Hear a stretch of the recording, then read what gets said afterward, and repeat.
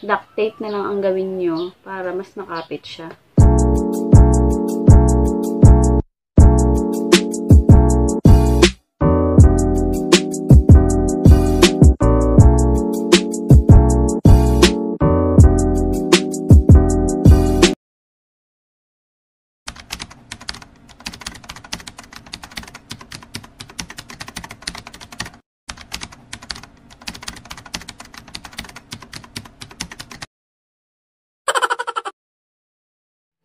Hi guys! Welcome back again to my YouTube channel! Yes guys, for today's video guys, tulad ng nababasa niyo sa uh, tawag sa title ay tayo ay gagawa ng phone case na DIY. Okay, so sa totoong buhay talaga nagtitipid tayo kaya wala tayong pabiling case. So ayun guys, so huwag na natin patagalin, let's start! Guys, i-refresh lang natin ulit. So, ayun yung sasabi ko, gagawa tayo ng DIY phone case. Gamit lang ang, hindi ko alam kung anong tawag dito guys, pero parang sinerge ko, washi tape yata ang tawag dito. Pero pwede din kayong gumamit ng ano guys, duct tape, scotch tape, electrical tape, basta kahit anong tape guys, naisipan nyo. Kung ano sa, depende sa trip nyo. Pero itong gagamitin natin ngayon guys, para may design. Yan.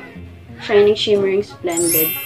So, mabibili nyo to guys sa, yan lang, sa tabi-tabi nabili, nabili ko lang to guys ng 10 piso isa, isang ganito, tapos ganito 10 piso din.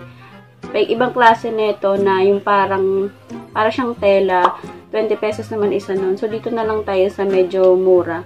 Siguro mas may mura pa dito yung parang, para lang siyang plastic na may design. Siguro 5 piso lang yun. So, dito na tayo sa 10 piso. Nabili ko to sa yung mga school supplies, mga ganon. So, din ako ng ganito sa National Bookstore dati. Iba-ibang kulay, may iba-iba ding design. So, umpisahan na natin gumawa ng DIY cellphone case using washi tape. Guys. So, umpisa, kailangan natin ng mat materials is washi tape. Tapos, gunting. Kita ko na siya, guys. Siyempre, yung case na gagamitin natin, transparent. Ito guys, matagal ko na tong case. Tapos puro gas-gas siya kasi ano-ano ginagawa ko. Ayun guys. Matagal na to. Yung binili pa yung cellphone ko. Ito pa yung kasama. Ayun guys, let's start.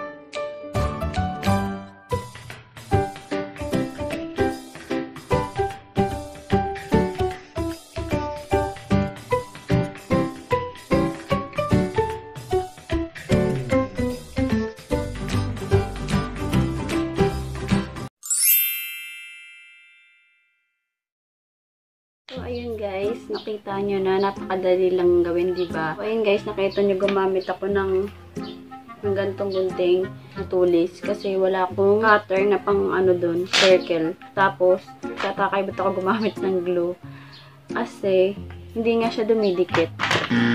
So, siguro kung sasuggest ko sa inyo, duct tape na lang ang gawin nyo para mas nakapit siya. Or anumang tape na mas makapit. Ayun guys.